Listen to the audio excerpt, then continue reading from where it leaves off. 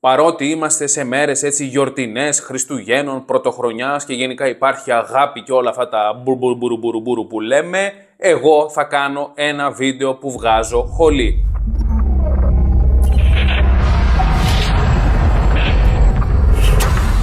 Γεια σας! Καλώς ήρθατε σε ένα ακόμα multi επεισόδιο. Όλοι οι φίλοι που ασχολούμαστε με την τεχνολογία τα τελευταία έτσι 10 χρόνια με κινητά, με γκατζετάκια, από όλους μας έχει περάσει μια Xiaomi συσκευή στα χέρια. Και αυτό που έχουμε παρατηρήσει όλοι οι φίλοι είναι ότι η Xiaomi βγάζει πολύ καλά και δυνατά ε, κινητά με καλά χαρακτηριστικά, βγάζει κινητάκια value for money, ε, βγάζει κινητάκια που κρατάνε στο χρόνο, τα έχουμε δείξει εδώ πέρα στο κανάλι όλα αυτά εδώ τα χρόνια, αλλά το μεγάλο μειονέκτημα της Xiaomi ήταν, είναι και λογικά θα είναι το λογισμικό, το MIUI.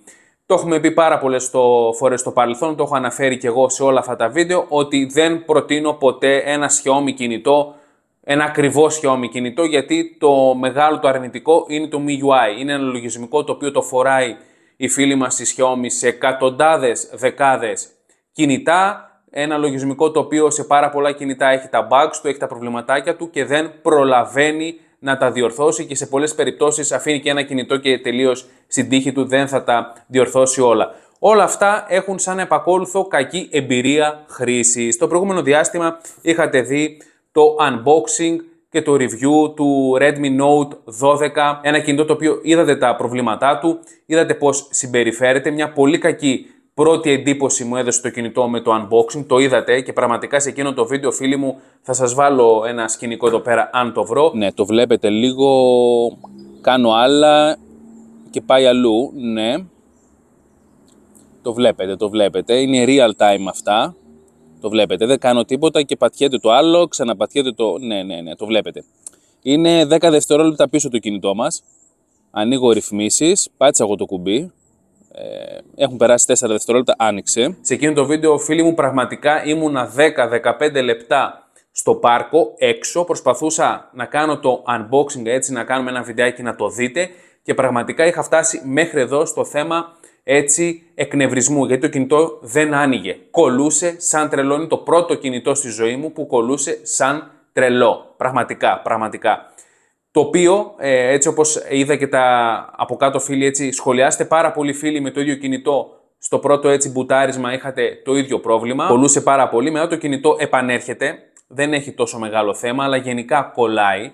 Γενικά το νιώθεις ότι πολλές φορές μαγκώνει. Και ποια είναι η, η λογική σε όλο αυτό, μάλλον ποιο είναι το, αυτό που κατέληξα; Θα μου πει τώρα ένας άλλος τι περίμενες; 100, 40 ευρώ, 150 ευρώ, τι θέλεις να κάνει, να πετάει εδώ κινητά των 300 ευρώ και κολλάνε.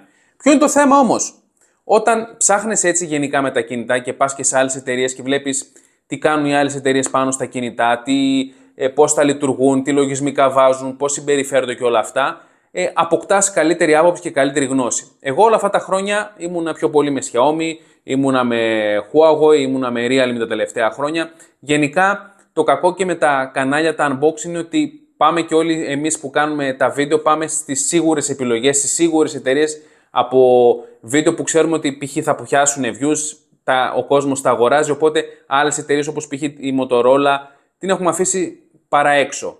Δεν θεωρώ ότι πάρα πολλοί φίλοι δείχνουν Motorola κινητό και γενικά η Motorola είναι μια εταιρεία την οποία πάρα πολλοί φίλοι μου τη ζητάτε. Δεν θα κάνω τώρα ιστορική αναδρομή της Motorola πώς ήταν, πώς ήρθε τώρα με τη Lenovo που αγόρασε η LG τέλος πάντων. Υπάρχουν όλα αυτά που μπορεί να τα αναλύσουμε στο, στο μέλλον. Εγώ μένω ότι πήρα ένα κινητό, ένα Motorola, το Moto ε, G32 που έχω εδώ πέρα μπροστά μου. Σας είχα δείξει το unboxing, το γουστάρετε πάρα πολύ το κινητό. Είναι ένα φτηνό κινητάκι στα 125 ευρώ που έχει αδύναμα χαρακτηριστικά. Έχει έναν Snapdragon 680 που ο οποίος είναι 1,5 χρόνο επεξεργαστής.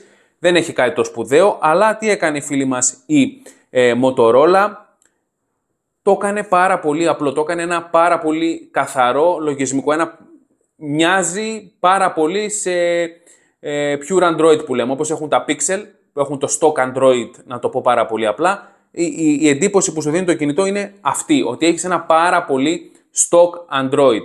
Πάρα πολύ stock, δεν έχει πάρα πολλά πράγματα. Το κινητάκι ε, είναι ακριβώς αυτά που τα βασικά που έχει επάνω, δεν έχει τα σχεδιάκια, δεν έχει τα χρωματάκια, δεν έχει τις επιλογές, δεν έχει κάτι το σπουδαίο, αλλά πιο είναι το κλου της ιστορίας, δηλαδή εκεί που μένουμε. Είναι ότι έχεις ένα κινητάκι πάρα πολύ απλό, το οποίο όμως λειτουργεί αξιοπρεπέστατα. Με το Motorola, φίλοι μου, πραγματικά έχω μείνει άναυδος από με 125 ευρώ ότι παίρνω ένα κινητάκι το οποίο λειτουργεί καλά. Πραγματικά λειτουργεί καλά. Ε, δεν έχω κανένα παράπονο από την ταχύτητά του. Βλέπετε εδώ κάμερα, μπαίνω, βγαίνω, φωτογραφία, βγάζω, φορτώνει, OK. Okay. Γρήγορα πράγματα, γρήγορες κινήσεις. Δεν το έχω κάνει τίποτα το κινητό. Βλέπετε, γρήγορες κινήσεις. Πραγματικά, φίλοι μου, το κινητό ε, με έχει αφήσει πάρα πολύ ευχαριστημένο. Θα μου πεις τώρα είναι ένα κινητό, το συγκρίνεις, θα φέρω και άλλα Motorola, ok. Αλλά η προσέγγιση της Motorola σε αυτό το θέμα με το κινητό, με το λογισμικό, είναι ότι έχει ένα ε, όσο το δυνατόν πιο ελαφρύ λογισμικό, το οποίο βοηθιέται πάρα πολύ όταν έχει ένα ελαφρύ λογισμικό, μπορείς να βάλεις και έναν αδύναμο επεξεργαστή και να κάνει τη δουλειά. Αυτό πρώτη φορά το παρατήρησα με το Pixel που είχα, σας είχα δείξει πέρσι και μέχρι λίγο καιρό που το είχα το κινητό, το Pixel 6a, το οποίο okay, έχει έναν, είχε τότε έναν επεξεργαστή των ε, G-Sensor της πρώτης γενιάς, ο οποίος ήταν ok, ήταν, είχε έναν καλό mid-range επεξεργαστή με 700.000 αντούτου score, αλλά σαν αίσθηση κινητού ένιωθες ότι είχες ναυαρχίδα. Δηλαδή η Pixel με το Google, η Google μάλλον με το Pixel, ε, έβαλε ένα mid-range επεξεργαστή, αλλά από το καλοραμένο λογισμικό που είχε πάνω το Pixel κινητό, ε, ένιωθες και σαν εμπειρία χρήσης έπαιρνες κάτι πολύ δυνατότερο. Την ίδια συνταγή βλέπω ότι ακολουθεί και η φίλη μας η Motorola. Ε, χαμηλά specs, χαμηλά, χαμηλός επεξεργαστής, όχι κάτι το ιδιαίτερο, αλλά με το πολύ καλό, έτσι, καλοραμένο και απλό λογισμικό που έχει βάλει πάνω η, η Motorola, το κινητό, φίλοι μου, πάει πάρα πολύ καλά για αυτό που είναι. Δεν πετάει. Εννοείται ότι άμα το κουράσει το κινητό δεν θα τρελαθείς. Βλέπετε εδώ και ωραίος fingerprint sensor. Γενικά το βλέπετε το Θα κάνω και βιντεάκια, θα έρθουν το επόμενο διάστημα, όλα αυτά συγκριτικά θα έρθουν μεταξύ τους. Αλλά σήμερα ήθελα να σταθώ πώς μια εταιρεία με τα ίδια π.χ.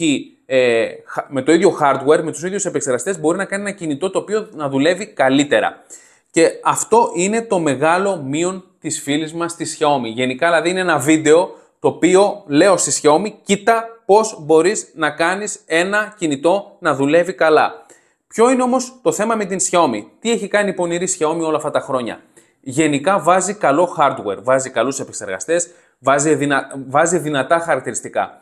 Και στα καλά κινητά της, δηλαδή ένα Xiaomi 12 TAF, ένα 13 TAF, ένα 13 ε, TAF Pro, στα πιο δυνατά ε, κινητά που βάζει καλούς επεξεργαστές, όπως π.χ. ένα Poco X4 GT, που βάζει δυνατά χαρακτηριστικά, εκεί πέρα το θέμα με το λογισμικό χάνεται γιατί έχεις ένα πολύ δυνατό επεξεργαστή, οπότε δεν δείχνει το μειονέκτημά του το λογισμικό, το δείχνει μόνο στα bugs. Αλλά σε μια κατηγορία τιμής εδώ με τα φτηνά κινητάκια που δεν έχουν δυνατούς επεξεργαστές, εκεί φαίνεται το μεγάλο και αναδεικνύεται το μεγάλο πρόβλημα που έχει η Xiaomi με το λογισμικό. Είναι ένα λογισμικό το οποίο το έχουν πάρα πολλά δεκάδες κινητά, όπως είπαμε και πριν.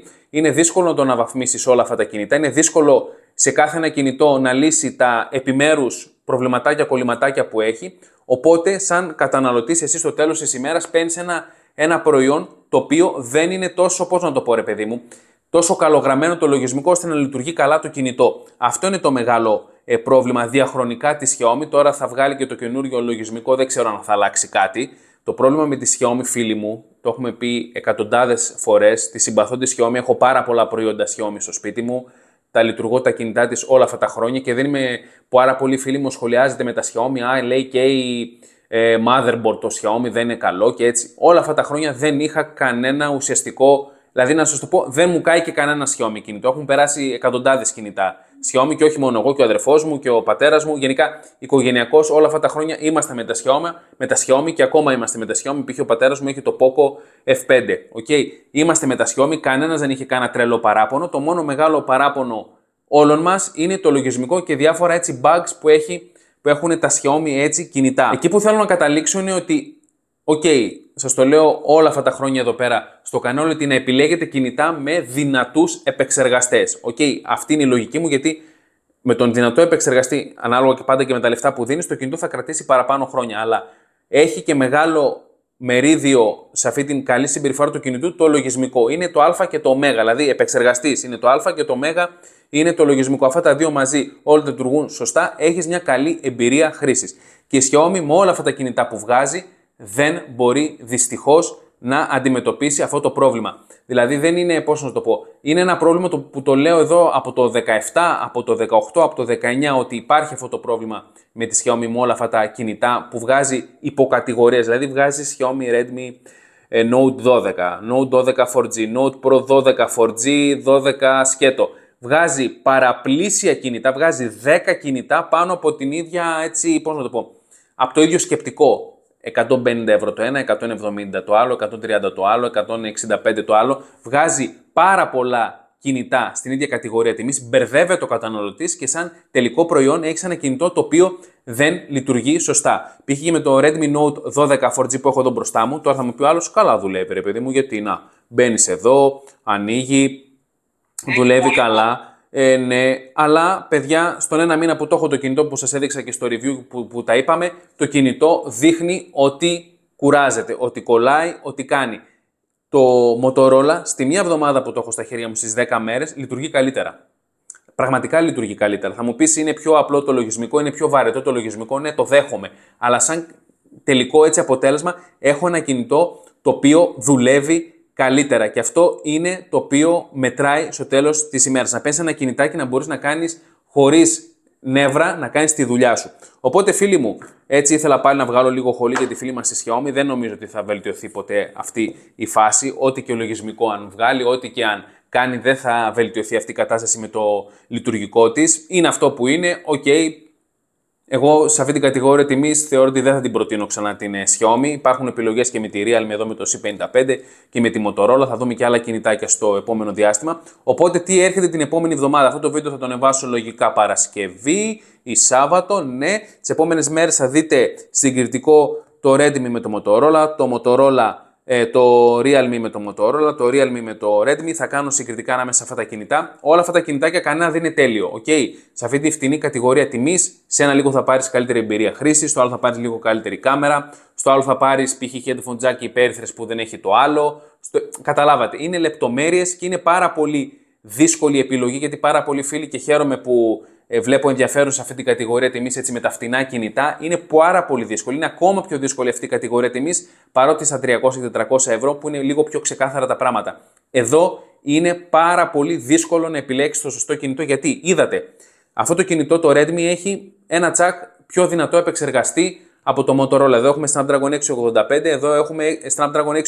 Αλλά σαν τελική έτσι, εμπειρία χρήσης, βλέπεις ότι ένα κινητό με πιο αδύναμα χαρακτηριστικά σαν επεξεργαστή έχει μια καλύτερη εμπειρία χρήσης. Οπότε όλα είναι θέμα ε, λογισμικού και να το δεις το κινητό να το λειτουργήσεις για να δεις πιο πραγματικά σου κάνει. Οπότε φίλοι μου, αυτά και σήμερα από μένα, ένα μάθημα για την φίλη μας στη Xiaomi ότι υπάρχουν, μπορείς να το κάνεις το κινητό σου να λειτουργεί καλύτερα αν βάλεις το συνδυάσεις με ένα καλό και ένα καλογραμμένο λογισμικό. Οπότε αυτά λοιπόν φίλοι μου και σήμερα από μένα με ένα ακόμα έτσι multi-culti επεισόδιο χολής. Τα λέμε σε ένα ακόμα επεισόδιο. Bye bye.